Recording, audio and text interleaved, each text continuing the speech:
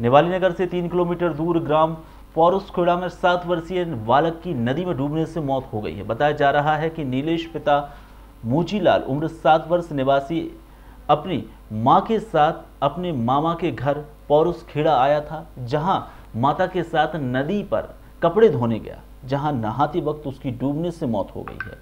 बालक की मौत हो जाने पर शव को पोस्टमार्टम के लिए भेज दिया है और पुलिस ने जाँच शुरू कर दी है।